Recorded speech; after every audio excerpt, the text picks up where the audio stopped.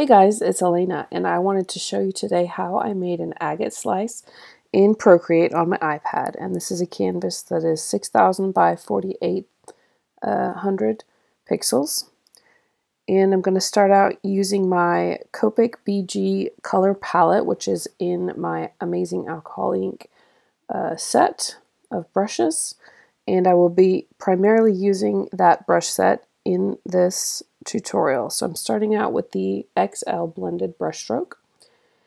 And I'm just going to go ahead and do a big sweeping stroke across the corner. This is going to be an agate slice that goes uh, on the corner and is sort of cut off by the corner. So it's not a full uh, circle. It's more like the edge of an agate slice. So I'm starting out with this dark blue and just making a couple of strokes.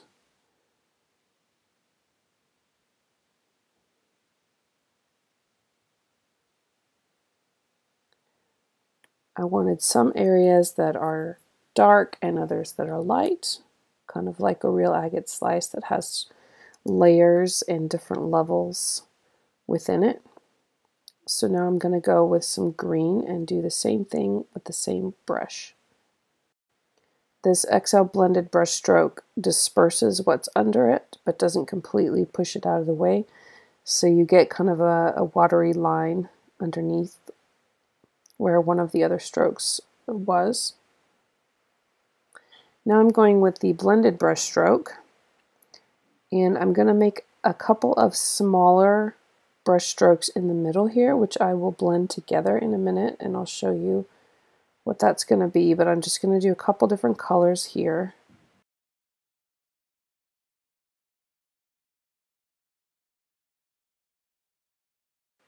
So now I'm going to go ahead and take the Liquify Blender brush and just make a sort of a quick large stroke across this entire area that I've just drawn to smear it together and make it um, make it sort of wobbly looking.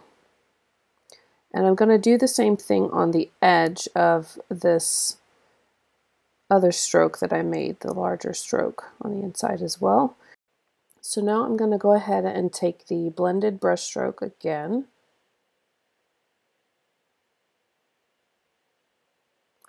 And I'm going to darken the edge on the, the outer edge with a very small brush stroke all the way around.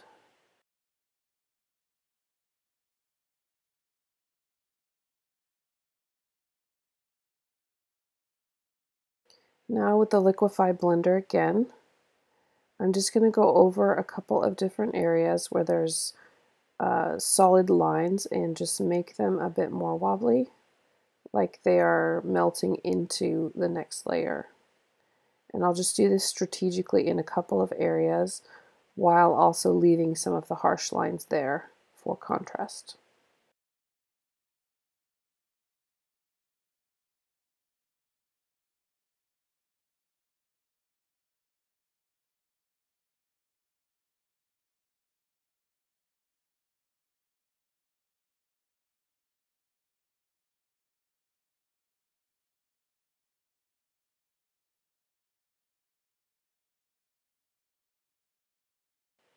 Now I'm going to grab this dark blue color again and take the blended brush stroke again, adding some more darkening around the edges that I want to be a bit darker.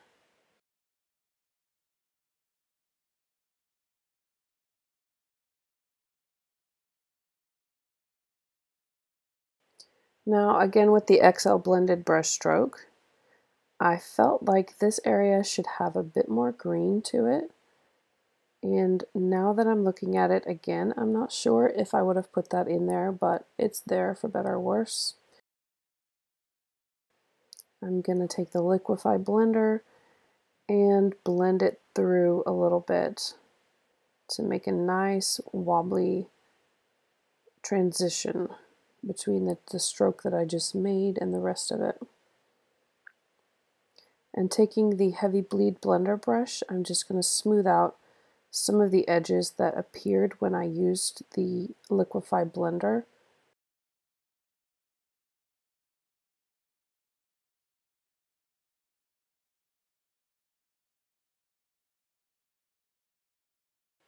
Now I've got the static brush stroke, and the difference between this one and the blended brush stroke is just that it does not push anything out of the way. So it adds some nice edges for layering along this focal point that I'm working on right now, but it doesn't it doesn't change anything that's already there. It just adds to it. So now I've got the ink pool edger and I'm going to grab that blue again and just add a little bit more darkening along this edge with the ink pool edger.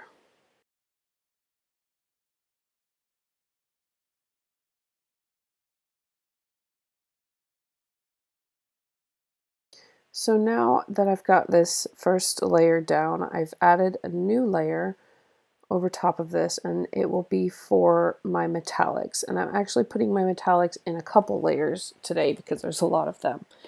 But I went ahead and chose the lightest gold color from the metallics palette that's included with the alcohol ink. And I chose the metallic ink splatter brush and I'm filling in the white areas with this and it's barely visible because I want to build the metallics up in a couple different colors for this. So I just wanted a barely visible, almost white base. And I'm going to take the metallic ink liner in the same color and just add a few accents along some of the lines.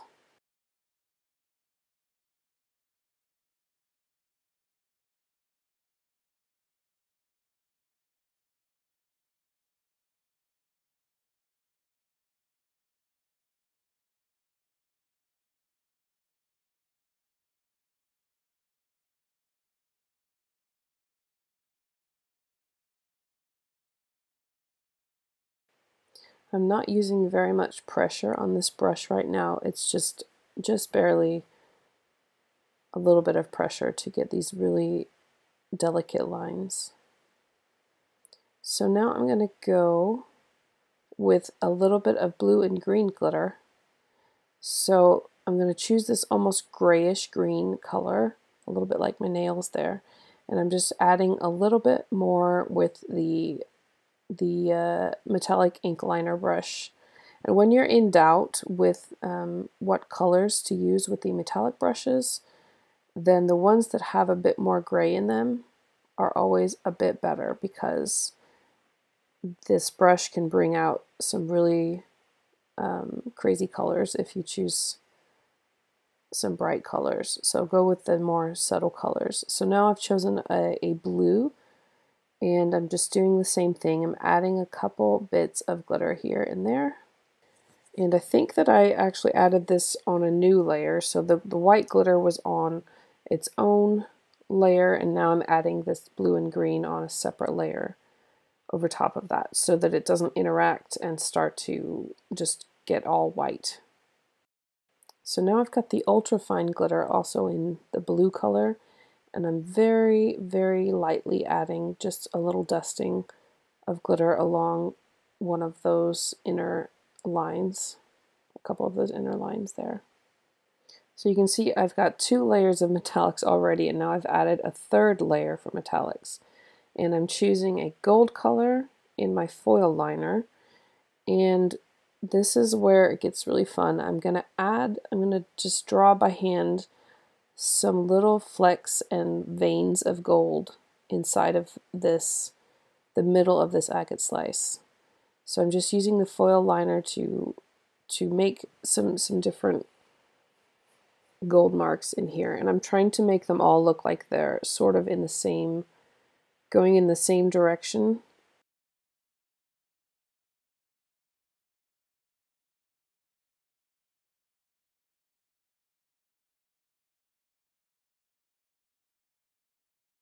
When in doubt with this, just go for a very light touch and then vary the pressure a little bit as you go to get a feel for it.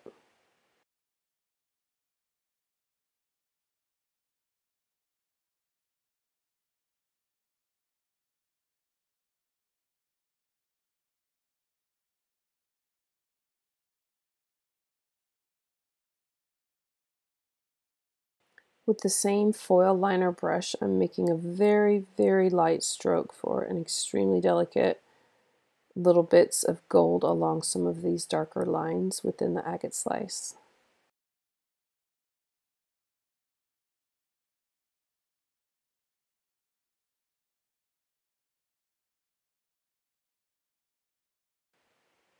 I'm just letting the pressure vary ever so slightly in order to get some bigger parts of the line and then some just barely there delicate lines.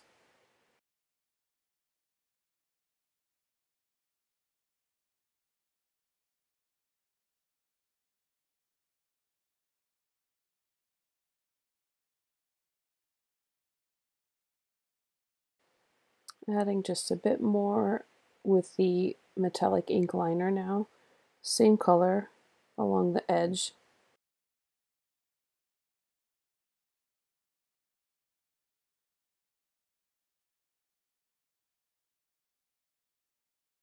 And now I wanted to have a sort of drippy looking um, yummy gold foil sort of texture around the very edge.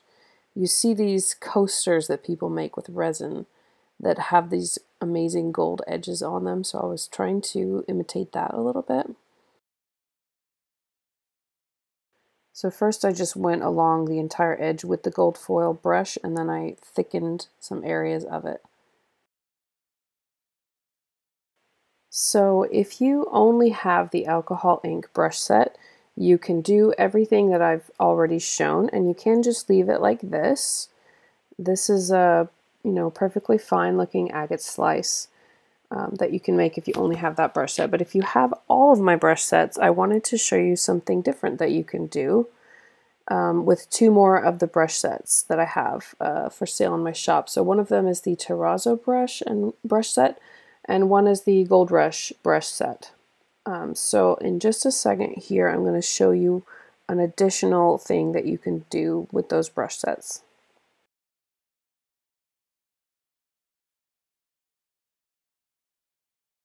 So yeah, you could just leave it like that, or you can add a new layer. And I'm going to go ahead and select black by double tapping close to the black on my color wheel. And now I'm going to go to my Terrazzo brush set, which is a separate brush set, my Terrazzo Creator, and I'm using Terrazzo number 6 on my new layer.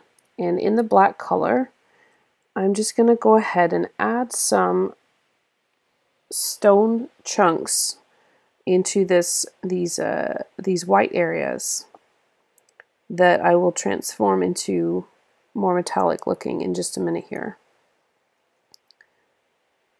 So I wanted to have them mostly towards the middle because if you look at agate slices or geodes, you can see they're mostly crystals in the middle. So I wanted something that would sort of mimic that. Um, and I'm going to go ahead and add a little bit towards the outer edge as well, just to keep things interesting, but not too much.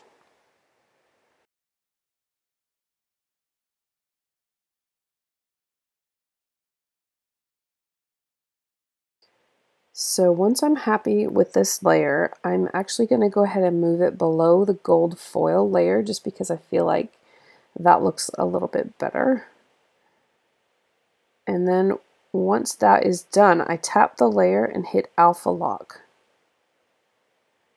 And now I'm going to go to my Gold Rush number two, um, the second edition brush set here.